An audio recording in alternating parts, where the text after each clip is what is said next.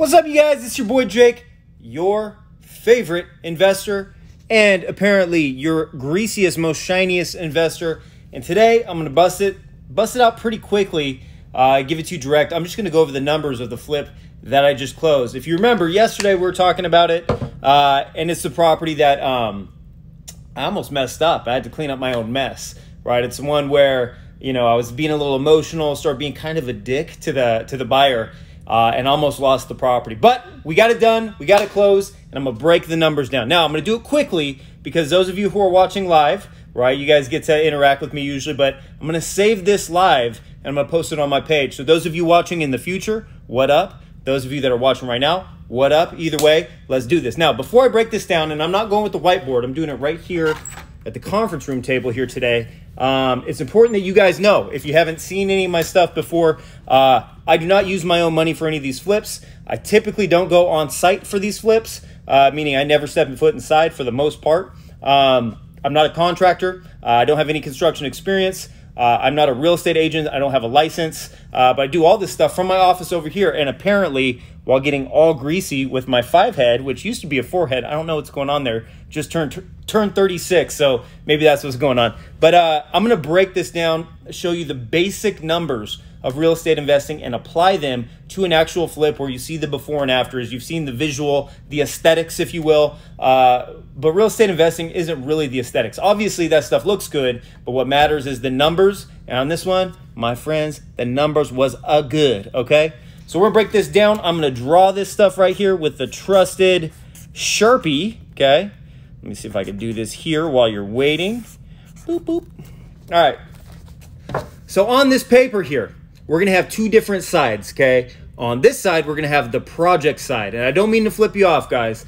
Uh, maybe I do, maybe I don't. You're going to have to wonder. On this side is going to be the project costs, and this side is going to be the resale costs. And you'll get a good idea of why I break them out into two different sides of things. And you know what? Give me one second. I know that those of you who are watching me in the future, um, I know you guys are watching me uh, just kind of finagle and fidget with my stuff here.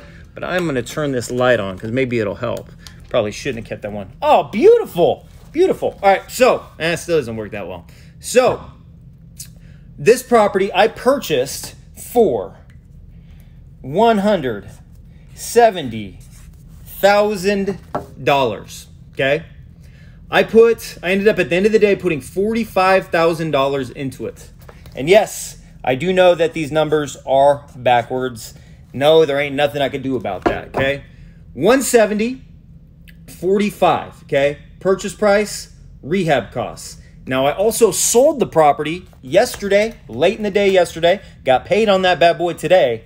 I sold it for 315000 okay?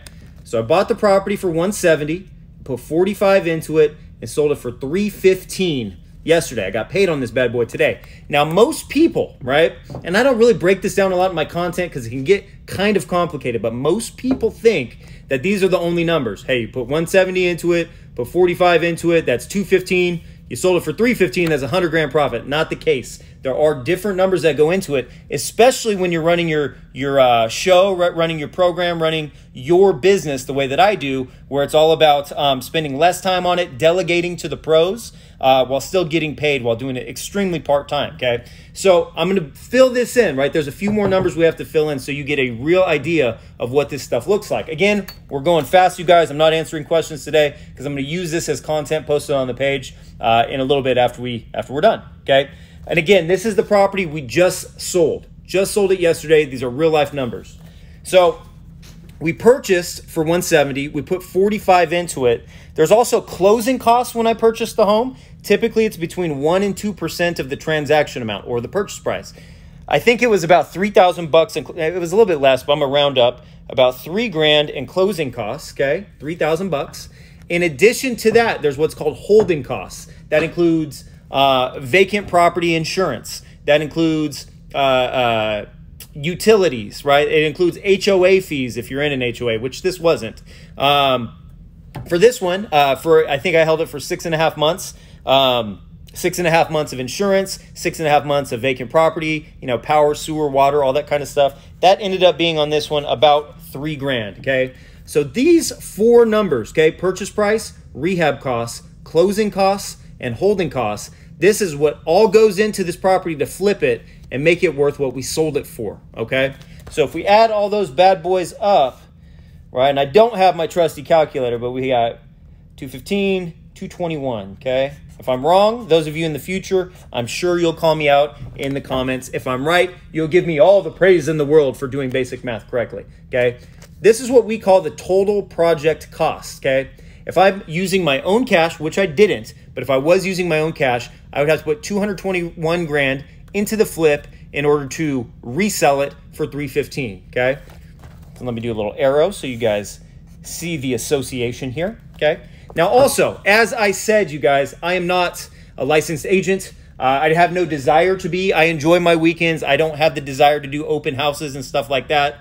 Um, and so I hire an agent to go out there, list the property. They go get the professional pictures and text them to me or email them to me or whatever. Uh, they're also out there, um, you know, uh, doing open houses, which right now a lot of places don't allow open houses, but they're there negotiating the contract, making sure we're protected, making sure doing the marketing, doing the hustling, the busy work that, quite frankly, they do much better than I would do right now. I don't have a ton of experience with that. I don't care to, to go out there and do that kind of stuff, like I said. With that being said, the seller in a transaction is typically the one that pays commissions, not only to your agent, the listing agent, but also to the new buyer's agent. Typically, it's anywhere between 4 and 6% total. The two agents split that down the middle. With mine, I paid uh, 5%, so 2.5% to one agent, 2.5% to the other. 5% of 315 make me do math here. We're going to say that's about 16 grand. I think it's like 15, 570. I'm going to round up, okay? So, so once that deal closes, we don't, we do not pay them up front. We pay them after the transaction closes, okay? So 16 grand, once the, uh, once the new buyer's lender or the new buyer brings their money to the table, before I get any of it, the agents get their sticky little hands on their commission. Uh, 2.5% to one agent, 2.5% to the other. In addition to that, there are also closing costs on the resale, and it's typically between 1 and 2% of the transaction cost over here. But the difference is when we purchase and we have closing costs, we have to pay that money up front. When we're selling and we have closing costs, the money comes out of the of the uh, the new buyer's money that they wire in. Okay, that the, also the title company, right? They get their sticky little hands on everything too. So between um, between 1% and 2%. This number was almost right on the spot here. I'm to say 4 grand. It was like 39.98, okay? So, what happened here is we put 221 into the deal. We sold it for 315. I'll do a little arrow here just so everybody, you know, we can make you extra aware. Sold it for 315. The agents took right about 16 grand and in closing costs another 4 grand came out, okay? So, although we sold it for 315 20 grand came right off the top and that leaves me with 295 okay? Let me put another line here make this arts and crafts time for you guys. So 221 into the deal.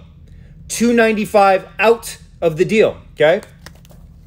That has a total pure profit is what we call it of what is that? Um 74 thousand dollars okay? 74 grand. Now, I did not use my own money. When I first put this under contract, I put it all on paper and, and marketed, essentially advertised this deal that I had complete control over to a bunch of different lenders. And the lenders that made it easiest for me, gave me the best rates, the highest loan and everything, covered the whole amount. Um, those lenders are the ones that I picked, okay? I do use a combination of two. One covered like 90% of it. The other one, I came in and had them cover my down payment. Okay, so two separate lenders it equated to 100% of everything that, that I had to pay. Zero money out of my own pocket. Now, with that being said, my friends, they got about 10,000 bucks. It was like 9,500 actually. Uh, so about 10 grand came out of this price point. Okay, so 10 grand went to the lenders, and that left your boy Jake with 64. It's actually closer to 65 because I rounded a lot of these numbers up. But my profit, or my company's profit, okay, it's not my it's not my profit. My company owned the house, okay. Um, my company's profit is sixty four thousand bucks. I happen to be 100% shareholder. 100. I'm the the president, vice president, secretary, janitor, and everything in between of my company. Okay, so we made we slash I made 64 grand by flipping this house with zero dollars out of my own pocket by hiring a contractor, hiring real estate agents, and me staying in my nice air conditioned office while they were out there in the 100 degree heat. No offense to them either, because I know that they watch these. They do an excellent job. They make good money off of this stuff. They are all stars, right? They're part of my power team. But we all got paid, and at the end of the day, what was left over was this amount for me. Now, these categories purchase price. Here, let me do this so I don't mark it up. These categories purchase price, rehab costs, closing costs, holding costs, total project cost, resale, uh, realtor commissions, uh, sellers closing costs, net revenue. These are what go into every single deal. These are the seven different categories right here, and these two numbers are kind of the the the net of each of these sides, right? The purchase side and the resale side. This is what goes into every single flip. Okay, uh, the numbers are the numbers are the numbers. The thing is, this pro this uh this number right here, the resale number, it's always super predictable and super telling. Gives us as much information we need about our project. It can tell us a obviously what we'll sell the property for because other similar properties in the neighborhood have recently sold for that price point. But B, it'll tell us how quickly our property will sell because there's a trend in that. C, it'll tell us what we need to do to the flooring, to the paint, uh, to the yard, the landscaping, to the kitchen. Does it have open floor plan? Is it closed? Uh, do we use the, uh, the the laminate hardwood all the way through to the kitchen, or do we put tile in the kitchen? What are we doing to the bathrooms? Are we doing carpet? Like, what are we doing in each of the rooms? This number right here, how we find this number, it leaves clues for everything that we do, right? And this, my friends, is how the game is played. So I wanted to break this down for you.